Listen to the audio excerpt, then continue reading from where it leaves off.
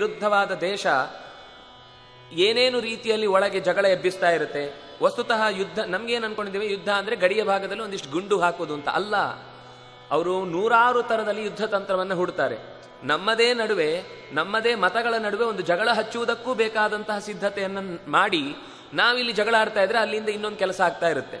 ಒಂದು ದಾರಿಯಲ್ಲ, ನೂರಾರು ದಾರಿಗಳಲ್ಲಿ ಸಮಾಜದ ಅಟೆನ್ಷನ್ ಅನ್ನ ಬೇರೆ ಕಡೆಗೆ ತಿರುಗುವಂತೆ ಮಾಡಿ, ನಾವು ಅದರನ್ನ ಮರೆತಿದ್ದ ಸಂದರ್ಭದಲ್ಲಿ ಇನ್ನೊಂದು ತರದ ಅಟ್ಯಾಕ್ ಆಗುವುದನ್ನ ನಾವು ಗಮನಿಸಬೇಕು. ಬಹಳ ಭಯ ತರುವಂತಹ ಸಂಗತಿ. ಇವತ್ತಿಗಂತೂ ಇಂಥದ್ದು ನಾವು ತುಂಬಾ ನೋಡ್ತೇವೆ. ದೇವತೆಗಳು ಒಂದಲ್ಲದೆ ಇದ್ರೆ ಎರಡನೇ ಪ್ಲಾನ್ ಎರಡಲ್ಲದೆ ಇದ್ರೆ